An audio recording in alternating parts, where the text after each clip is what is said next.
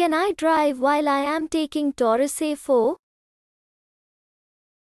No. Taking Torosafe O may make you feel sleepy, dizzy or could affect your eyesight.